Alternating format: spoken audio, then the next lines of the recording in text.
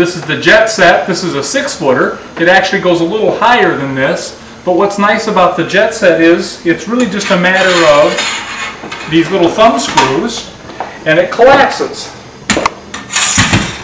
quite small, quite quickly.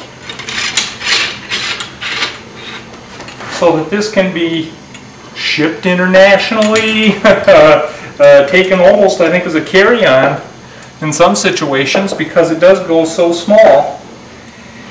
Now we have these in eight footers. It's ready to go. I don't know how long that took, but I think it's under a minute. but we have these in six and eight footers. They're eight feet high, eight feet wide, and they're $140. This is 110, I believe, and it's six feet high, six feet wide.